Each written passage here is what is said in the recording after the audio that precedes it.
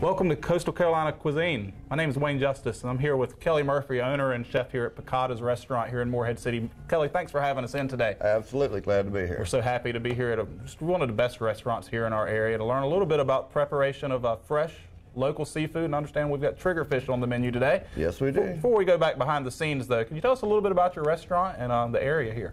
Uh, well, we're located in downtown uh, Morehead City, 909 Reynolds Street, uh, right downtown Morehead City. Okay, great. It seems like it's a new location. Used to be just across the street, if I remember correctly. Absolutely. We used to be down at uh, 506 Reynolds Street. Okay. Um, back in November, we moved all the operations to 909 here, uh, which was formerly our catering company, but we Great. expanded and uh, nice, bigger, better location. You've got a great location, beautiful bar. So you, we're really excited to be here and to, to learn from you. I know you've got an extensive history, uh, not only with the restaurant business, but out on the water catching Yeah, fish. And uh, absolutely. real excited to learn a little bit about triggerfish today. Can you Yes, tell me sir. anything about the uh, triggerfish populations here in North Carolina?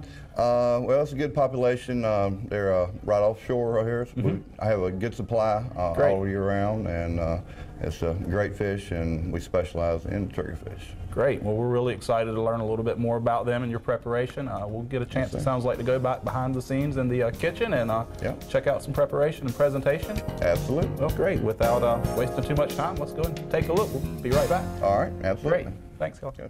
Chef Kelly, we're back in the uh, kitchen area. What a great kitchen you've got. Lots of space back here, and we're going to have a chance to learn a little bit more about the triggerfish, which is All right. uh, traditionally, a, a, I feel like an underutilized fish species, but I, I know it's one of your signature Oh, yeah. recipes that we've got. We've got several different menu items that look Yeah. like with triggerfish on the menu. Yeah. Learn to learn a little bit more about how you prepare them, and starting with the fresh product, how you clean a fresh caught triggerfish. Yeah. Tell me a little bit about the process. Well, uh, I'll show you. Great. Well, I just everybody does it different, but uh, this is how I do it.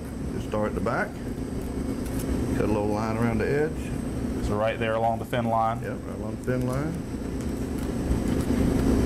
And most of the time it cooperates with you. coming up over that trigger. That's Yeah. where the triggerfish, of course, gets its Yeah. name from, that dorsal fin. Yep. We've got an interesting locking mechanism where they can tuck in on an artificial reef and uh, protect themselves, locking that trigger into place. Good way to hide from predators. Just doing a good job of going right along the outside. Kelly, we've got these beautiful triggerfish fillets. Show me what you've got planned for. Okay, we're gonna do a triggerfish piccata. Okay. Um, here's the way we do it.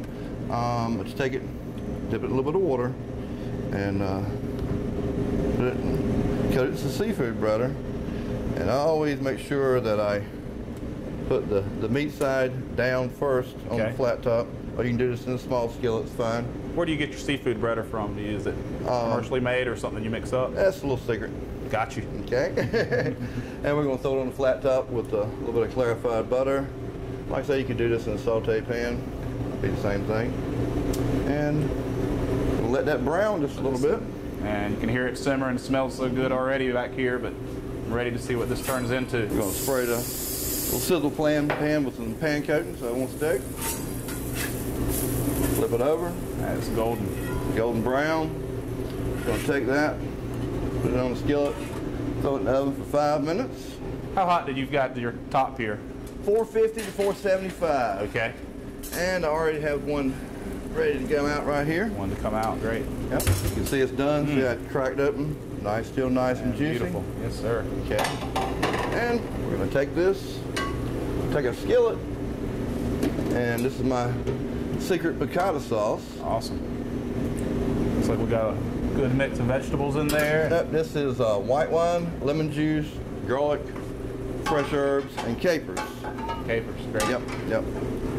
I put a little bit of heat of that. We're gonna do that today over uh, cheese raviolis.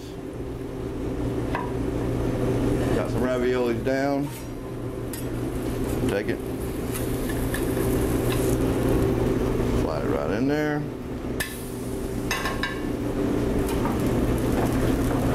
Add some uh, fresh oregano that I grow myself.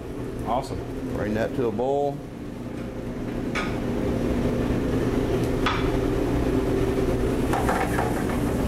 And we have some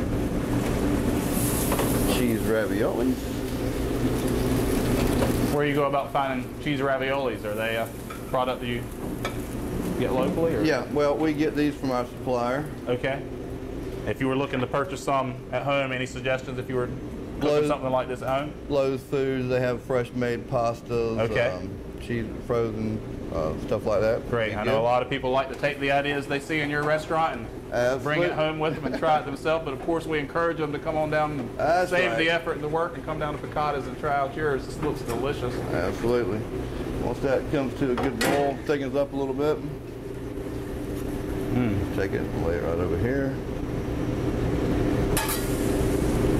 A little over the top. Put it right over the top. Yeah, that looks great. And we're gonna top it with some Parmesan cheese.